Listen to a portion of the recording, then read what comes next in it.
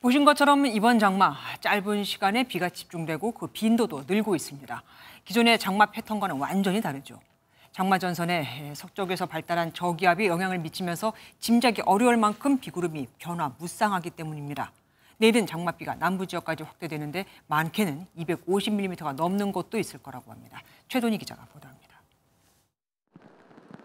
가늘던 빗줄기가 갑자기 세찬 장대비로 돌변합니다. 천둥 번개와 함께 국지적으로 강한 비가 집중돼 호우특보가 내려졌습니다.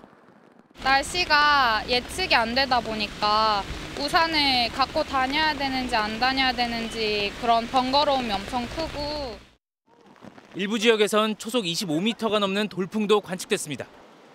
붉게 보이는 강한 비구름이 수도권과 중부 지역을 지나며 시간당 60mm가 넘는 폭우를 몰고 왔습니다. 남부에 쏟아진 장맛비가 하루 만에 중부 지역을 뒤덮은 겁니다. 일정 기간 수일에 걸쳐 중부와 남부를 오르락 내리락거리며 내리던 전통적인 장마와는 다른 모습입니다.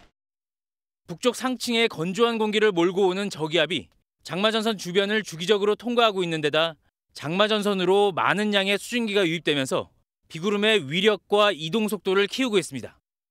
이번 장맛비 다시 남부 지역까지 확대됩니다. 전남과 경남에 호우 예비특보가 발령됐고 많은 곳은 250mm가 넘는 곳도 있겠습니다. 정체전선이 점차 남하하며 30일은 남부지방과 제주도를 중심으로 시간당 30에서 60mm의 돌풍과 천둥 번개를 동반한 강한 비가 내... 기상청은 곳에 따라 소강 상태를 보이는 곳이 있지만 대기가 불안정해 다시 강한 비가 내릴 수 있겠다며 기상 정보를 자주 확인해 달라고 당부했습니다. MBN 뉴스 최동입니다. 안녕하세요. 김주하입니다. 공정하고 신속한 MBN 뉴스 유튜브를 통해서도 만나보실 수 있습니다. 특히 더 많은 뉴스와 라이브를 보고 싶으시다면 오른쪽을 눌러서 구독하시면 됩니다. 어렵지 않죠? 빠르고 정확한 뉴스로 계속 찾아뵙겠습니다.